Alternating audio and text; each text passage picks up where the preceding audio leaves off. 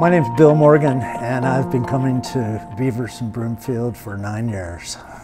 Well, before I came here, I was not as religious about um, my oral care, so uh, it was real spotty with who I saw because I wasn't really satisfied with the dentist I was seeing.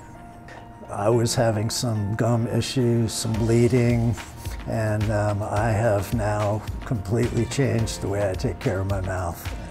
I was not a flosser, and uh, through working with Lindsay for a while, I've become a religious flosser. And um, the experience here has, you know, helped me take a lot more responsibility for myself. The, the staff is friendly.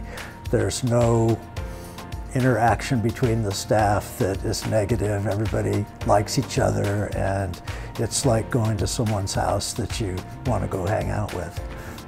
Well, it's, uh, it's more of a friendship. It's a personal relationship. It's, it's not like I'm seeing a professional like a doctor um, that I would go to see. Uh, seeing Dr. Broomfield is more like, you know, checking in with a good old friend who's, you know, legitimately concerned about the condition of my teeth. Um, the favorite thing about my smile is it makes other people smile.